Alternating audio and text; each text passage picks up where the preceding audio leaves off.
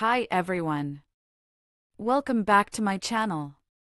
In today's tutorial, I'm going to guide you through the process of setting up slow DNS settings on the HTTP Injector VPN using the default servers that come built into the app.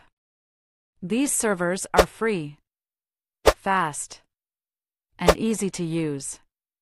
Before we get started, don't forget to follow my blog for detailed tutorials. Also, make sure to subscribe to my channel, like this video, and share it with others. Step 1 First, download HTTP Injector. Open the Google Play Store on your device. In the search bar, type HTTP Injector and press Enter. Locate the HTTP Injector app from the search results and tap on it to download. The download and installation process may take a few minutes. But please be patient. Step 2 Once the installation is complete, go to your home screen and launch the HTTP Injector app. When you open the app, you will be taken to the home screen. Step 3 On the home screen, tap on the arrow icon on the right side. This will open a menu with different tunnels and connection types. From the list, choose SSH tunnel as the tunnel type and DNS as the connection type.